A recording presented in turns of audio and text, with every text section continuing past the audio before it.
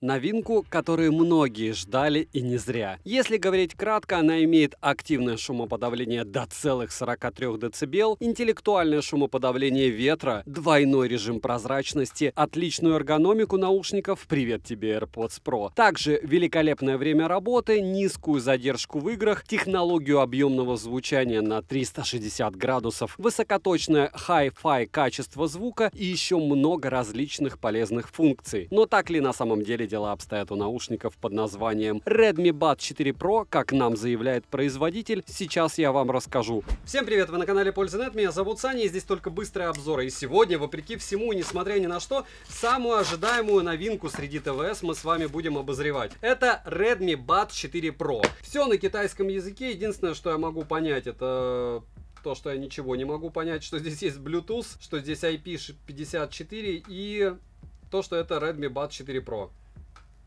Все. Все, что они хотели мне рассказать о своем девайсе до того, как я его распакую. Не похоже на то, что они сделали в Redmi Buds 4, и за это им огромный жирный плюс. Все моментально включается, то есть вы снимаете вот эти вот наклейки, кладете бокс. Разумеется, Type-C-шная зарядка, возможно беспроводная, но это мы проверим. А, кнопка для сопряжения, кабель для зарядки, USB-A, USB Type-C и комплект амбушюр. Посмотрим, сколько их. Может быть, больше двух пар? Да, не больше. Две пары. Что я могу сказать? Вместо тысячи слов лучше протестировать один раз, правда? Весит довольно много. 5,4 грамма. Бокс весит 36,6 грамма. Смотрим. 7 обзоров в неделю выгружаю, ежемесячно разыгрываю 5 Mi Band ов 6 серии за лайк, подписку и комментарий к любому видео. Условия конкурсов, которых под конец месяца всегда много и мои контакты в описании. Прикрепи мой телеграм-канал с промокодами на Алиэкспрессе, плюс я там выгружаю эксклюзивный контент. В первую очередь примеры съемки камер и техно-новости. Все розыгрыши 30 числа каждого месяца на стриме на канале для стримов. Перейдем же к беспроводным наушникам. Полетели. В продаже имеется только две расцветки, белая и черная. Дизайн бокса минималистичный и стандартный без лишних деталей. Зарядный бокс изготовлен из глянцевого пластика, тактильные материалы приятные. Но потертости и царапины над боксе появляются моментально, так что советую сразу же приобретать кейс под него. И хорошо, что на Али этого дела уже достаточно. Форма овальная, габариты небольшие, 63 на 45 на 25 миллиметров. В кармане бокс практически не мешается, из рук не выскальзывает. Сборка качественная, никаких зазоров я не обнаружил. На корпусе расположили название производителя кнопку для сопряжения, разъем USB Type-C и LED-индикатор. Открыть одной рукой крышку бокса можно без проблем. Крышка в открытом состоянии фиксируется и самостоятельно не захлопывается. Шарнир пластиковый, люфт у крышки минимальный, хлопок звонкий, практически такой же, как у бокса AirPods. Внутри находится краткая информация мелким шрифтом и два вертикальных места под наушники с двумя контактами для зарядки в каждом. Наушники в боксе слегка гуляют. Если попытаться их вытряхнуть, то нужно будет приложить немного усилий. Емкость аккумулятора 590 мАч, полный цикл зарядки занимает 1 час 50 минут. Беспроводной зарядки нет, что является таким приличным фейлом. Наушники можно перезарядить от бокса 3,5 раза. Саморазряд у бокса лично я не наблюдал, что особенно радует. Переходим к наушникам. Большая часть наушников изготовлены из такого же глянцевого пластика, как и бокс. А на внешней части ножки расположили серую вставку. Выглядит интересно, но в целом наушники внешне более чем стандартные. Ничего нового не придумали, можно сказать. Габариты 28 на 20 на 21 мм. Звуковод не длинный, 5,9 на 7 на 3 мм. Звуковод имеет выступ для удержания амбушюр и металлическую сеточку. Сборка наушников хорошая, но вот шов в области состыковки двух частей наушника можно было бы и получше замаскировать. Посадка комфортная, сидят наушники плотные, дискомфорта не доставляют даже при длительном использовании. Из ушей выпирают не сильно, но заметно. При занятии спортом из ушей они не вылетают, что хорошо, так что потерять наушник будет сложно, но разумеется возможно. Засыпать я, правда, с ними не советую. На корпусе расположили два контакта для зарядки, 6 микрофонов в общей сумме, маркировку left и right и сенсорную область, из тапов на борту play пауза, переключение треков, регулировка громкости, вызов голосового ассистента, ответ сброс вызова и переключение между режимами шумоподавления. Одиночного тапа нет и ложных срабатываний у меня не было. На тапы откликаются наушники хорошо, но нужно приноровиться к ним. Настроить тапы возможность есть и настраивать тапы лучше в официальном приложении, так как присутствуют все команды тапов. Но проблема заключается в том, что официальное приложение на китайском, а в приложении под названием Mi Buds M8 всех команд в настройках нет, к сожалению. Но все будет, я уверен. Озвучивание сопровождается сигнальными звуками, женского голоса на китайском языке вы не услышите. Летим дальше. Оснащены Redmi Buds 4 Pro динамическим драйвером, катушкой в 10 мм и 6-мм движущей катушкой с титановой диафрагмой. Активное шумоподавление на борту с шумоподавлением до целых 43 дБ, и это прям очень круто. Оно имеет 4 режима, во всех режимах ANC мне понравился. К примеру, с включенным режимом в самолете я мог прослушивать музыку, не выкручивая громкость выше 50% и не слышать окружающие шумы на улице. Разумеется, если вам нужно заглушить посторонний шум в метро, то придется выставить где-то процентов 80. Ветер глушит, но с сильным ветром у него проблемы. В целом, работой активного шумодава я более чем доволен. Пассивная шумоизоляция неплохая, режим прозрачности также на борту с двумя режимами работы, усиление голоса и обычный. Во время разговора с собеседником на улице посторонние шумы не мешают, собеседника слышно отчетливо и снимать наушники не приходится. Также можно включить функцию, которая автоматически определяет голос и включает функцию прозрачности на указанное время, к примеру, на 5 секунд. У меня это дело срабатывало хорошо, но, разумеется, в шумном месте, где много людей, данная функция не особо актуальна. Далее, заряд наушников в шторке отображается, по одному они работают, переподключение бесшовное, что очень хорошо. Автоматически подключаются после открытия крышки бокса. Мультипоинт на борту на два устройства, за что отдельное спасибо, так как по мне это одна из действительно полезных функций. Датчики автопаузы на борту отрабатывают быстро и вдобавок их можно отключить по необходимости. Анимацию можно включить в официальном приложении или воспользоваться анимацией из приложения Mi Buds M8. И мне больше импонирует второй вариант. Срабатывает она не так быстро, как хотелось бы, но срабатывает. Емкость аккумулятора одного наушника 54 мАч, полный цикл зарядки занимает 1 час. Время автономной работы наушников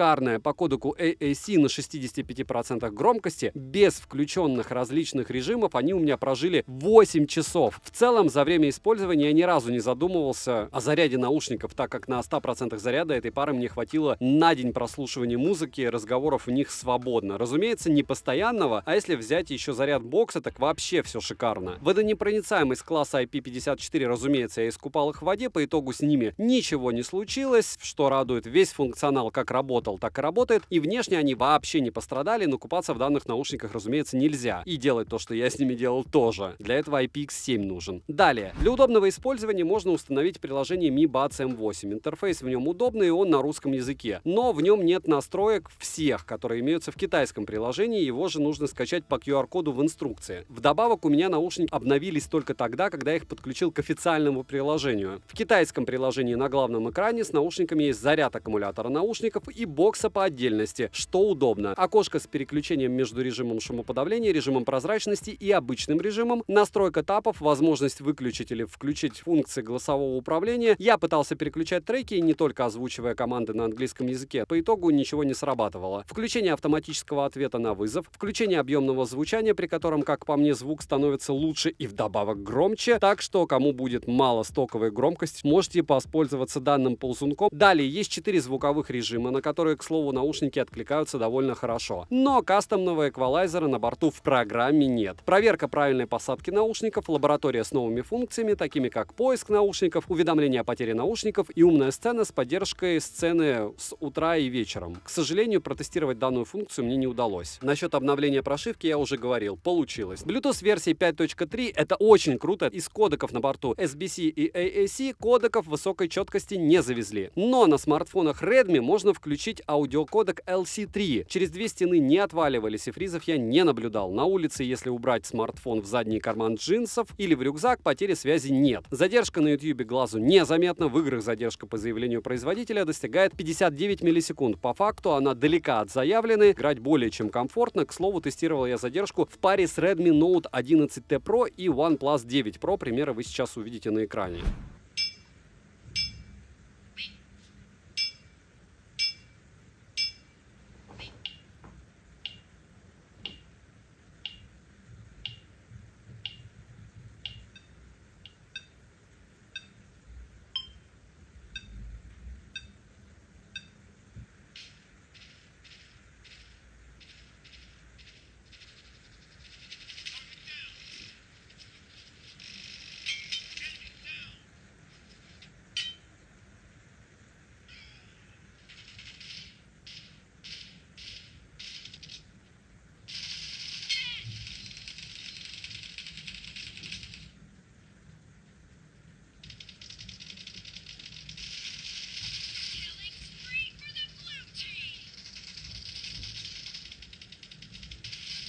Фона отрабатывают не совсем мрачно, посторонние шумы на улице глушат неплохо, но голос искажается знатно и иногда еще и пропадает. Примеры вы сейчас услышите как в студии, так и на улице. И тест микрофонов долгожданной новинки Redmi Buds 4 Pro. Так, наверное, должен делать телемагазин. Шучу. Смысл в чем? В том, что сейчас я нахожусь в идеальном помещении. Максимум, ну, здесь чуть-чуть вентилятор работает для записи звука. Я здесь записываю распаковки, все обито панелями, все по фэншую. То есть мне приходили с приборами, проверяли. И вот так вас будет слышать собеседник, если вдруг вы решите на студии звукозаписи поговорить с ним. Если вы решите разговаривать с них в обычных условиях, пример вы сейчас услышите. Пример работы микрофонов Redmi Buds 4 Pro. И я им особенно благодарен. Почему? Потому что они выглядят не так же, как Redmi Buds 4. Когда я заказывал, я думал, это будет эпичный fail. Я обычно на фотографии не смотрю, главное название. Но самое главное, сейчас ветер, рядом со мной машины скорой помощи, мимо проезжают машины, плюс сейчас, возможно, вы дождетесь и услышите, как мимо меня будет проезжать максимально громкий пазик, сразу ухо мне задувает довольно приличный ветер, и э, примерно так вас будут слышать собеседники в максимально некомфортных для наушников условиях. По идее, здесь должны быть слышны для вас перегрузы, по идее, вы рядом должны слышать дорогу, завывание ветра, и вот, вот сейчас какое-то легкое спокойствие. Апогей шумного. Ну, понятно, может быть, еще КамАЗ, можно лечь по нему, но вот так в обычных условиях вас будут слышать собеседники. Смотрим. Звучание. Запаса громкости не всем хватит, но напоминаю о функции объемного звучания. Лично я прослушивал музыку не выше, чем на 65% громкости, и мне было более чем достаточно. В моем экземпляре громкости с головой. Если говорить о стоковом звучании, то первое, что я заметил, это хорошие низкие частоты без лишнего акцента, который бы только мешал. Бас плотный и средний бас прямо ощущается. Середина с хорошей проработкой, высокие приятные, находится все на своих местах. Каша есть, и это неудивительно только при максимальной громкости свыше 95%. Но она небольшая. Сцена шире средней, глубина присутствует, детальности звучанию достаточно. Вокал эта пара отыгрывает хорошо, как и инструментал. Мне лично больше понравилось слушать легкий рок, но звучание однозначно зайдет практически всем, так как можно прослушивать и классику, и современную музыку, и не только. Также я хотел отметить, что данные наушники стоит прогревать, чтобы получилось действительно хорошее звучание. Если вы считаете, что это ничего не работает, посмотрите у бренда OneMo, который делает очень много профессиональной техники. Есть даже специальная программа для прогрева наушников. Если вы думаете, что они придумали это просто для маркетинга, вы сильно ошибаетесь. Но, несмотря на это все, лично мне по звучанию они зашли, так как все частоты в довольно неплохом балансе. Из минусов нет беспроводной зарядки бокса, нет кастомного эквалайзера, в программе нет возможности переключать режимы шумоподавления через тапы, и лично у меня иногда слетает выбранный мною режим. Нет кодеков высокой четкости, с тапами нужно заморачиваться, также русского языка в официальном приложении нет. Я бы сказал, что они слегка сыроваты пока, и надеюсь, что с прошивками они станут еще лучше. Цену можете посмотреть по ссылке в описании к видео. Если какие-то промокоды смотрим в моем телеграм-канале по ссылке в прикрепленном комментарии или в описании, там уже 60 тысяч человек. Резюмирую, Redmi Buds 4 Pro, как по мне, шикарный выбор в этой ценовой категории. Полезных фишек на борту более чем достаточно, и мультипоинт вам, и звучание отличное, активный шумодав. Работают они хорошо, хоть и требуют небольшой доработки. Каждый раз, когда я вам говорю, что нет кастомного эквалайзера в штатной программе, помним, что в любом приличном плеере он есть. С приложениями можно смириться, один раз настроить и радоваться. За звучание однозначный плюс. Единственное, здесь прям не супер-мега крутые микрофоны, но что делать? Может быть, даже, кстати, и допилят, как допилили когда-то Pixel Buds. Подписывайтесь колоколом, пишите в комментариях, что бы вы еще хотели увидеть на обзор. Завтра Тирексы вторые. Я знаю, что вы ждали. Девайсу однозначное да. Добра и удачи вам, дорогие друзья.